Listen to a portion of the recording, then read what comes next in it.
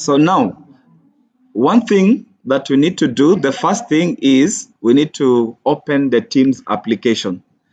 And then once you have the Teams application open, like the one I'm projecting on my screen, you go down on your left pen here to the Teams part. I'm clicking Teams. So you can see already I have a group of teams created here. So just to be sure, create a new team. All right. Create a new team. There you are. Then come here and click create a team. You're not joining any team, you're creating one. So I'll click that. I'll pick the class group. Good. So the, the, you can name a team after the unit that you are facilitating. So an example is uh, greening in TVET. Okay, you come here, click next. And uh, okay, you can skip the part of adding students or teachers. There you are. All right. So the first part is done. We have already created a team in our Microsoft Teams application. So the next thing I'm going to do is schedule a session. Schedule a session. How do you schedule for a session? Easy. I'll just come here next to the meet button and then I point on the drop down menu on schedule a meeting. When I click schedule a meeting, I'll be presented with a screen that will allow me to schedule a meeting. So I can give a title to my meeting and say, um, uh, what is it? Uh, not really. Let me just call it MS Teams live session. Sorry. Great. Then I can come here, specify the time. You can see it is reading today's date, but you can always use this link recurringly. So let me leave this at that. Uh, this is about like 30 minutes from 12.30 to 1. I can add there. I can say maybe to 2 p.m. That's 1 hour, 30 minutes. Okay. Uh,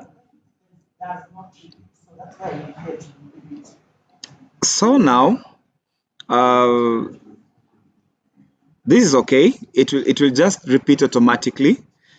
So now I the, the next thing for me to do is click the send button here. After clicking send, already you can see that the meeting is scheduled. You're seeing it here. Now I will need to get a link to the meeting. So getting a, me a link to this meeting, I'll click on, on the three buttons here and say link to channel. Or alternatively I can click on the meeting that I've scheduled. And up here there's a button to copy link. You can see this link here? Copy link. So if I say copy link it has, it has already copied the link to the clipboard. So my first part is done. So what I need to do is now take this link and copy it on the LMS Moodle Learning Management System okay. So let me go to the Moodle platform. So I'll open the LMS yes here it is. Uh, let me use this account. So I have access now. So let me go to the course uh, managers. I'll go search for the course okay here is the course. So great so let's say mine is greening uh, okay. Mine is greening so I'll click on the greening part. I need to make sure that I have turned editing on first. So I turn editing on like that. So now I'll go to my unit which is greening in TVET then I add an activity or resource. So in this case I click on that link and I will add a resource so click resources there and then add the URL. Remember we already had copied our link. So I'm going to name the link MS Teams uh, live session. So copy the link there, the one that we had already copied from Microsoft Teams. And that is basically it. Just come down here, save and return to course. Good. So that is how you do it. So when I return to course, where is greening? Okay, so this is your link here.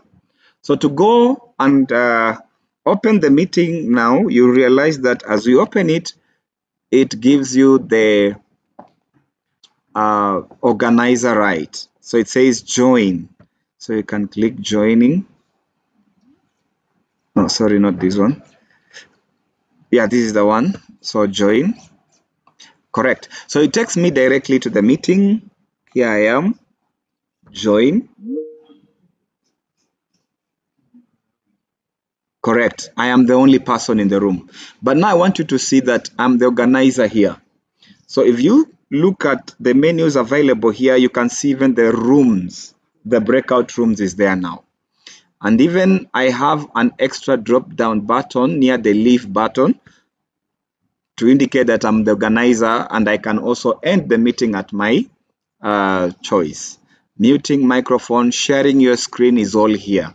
The way we've been doing the reactions and charts and people. So number one if you want to do the breakout rooms click on the breakout room. Then you can decide how many rooms you want depending on the number of participants you have. So i can say maybe i want 10 rooms and then i will tell teams to automatically do that to automatically assign. I don't have to manually go uh, assign people to the rooms. It will be a lot of time. So just say create uh, rooms. And it is highly advisable that you do this once the participants have entered the room so that you can determine beforehand how many participants or how many rooms you are going to create so that you don't create rooms that don't have people. Okay then you need to time your rooms. You need to time them. Click on the little set, uh, setting button here so that you can add the uh, time limit. So I'll put this one on. You can have your time limited in hours or in minutes and I'm, I'm sure we would prefer doing the minutes. So you can do maybe 10 minutes okay for every room. And then after which the 10 minutes are done the rooms will automatically close and the participants will go back will come back to the main room where you can do some feedback and you know analyze what has been happening now before we finish, I would like us to know how to set the status about removing the uh, removing the issue of participants staying in the lobby so that you don't have to be admitting every time they're coming in. For you to do that, come to people here. The people show participants here. Uh, then on your right side, the three buttons here will get you there. Click select the management uh, manage permissions so this is where now you're going to set that you come here instead of people in my organization just say everyone so that everyone will come in everybody who can access the lms they can click the link and get into the meeting without you admitting them and then the second option we will need to consider is who can present so right now it's everyone can present the right to present come with variety of privileges. Among them, you can mute everyone, you can expel anybody from a meeting. So ideally, instead of having everyone to be a presenter, you can change and have uh, people in my organization. All right. So anyone with a at KTTC account, uh, they can be able to come in your meeting and become a presenter. But any other person will be in as an attendee.